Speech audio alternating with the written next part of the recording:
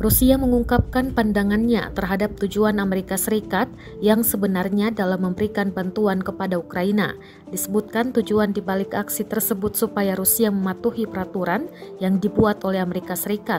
Mengutip Kompas.com, hal itu diungkapkan oleh Menteri Luar Negeri Rusia, Sergei Lavrov pada Minggu 19 Juni 2022. Sergei Lavrov mengatakan Amerika Serikat ingin mencabut status independen Rusia di panggung internasional.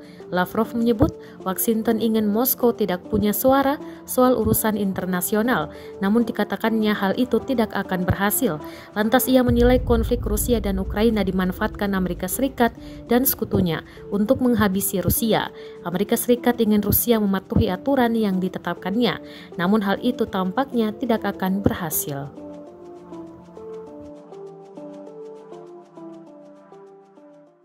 Terima kasih sudah nonton. Jangan lupa like, subscribe, dan share ya.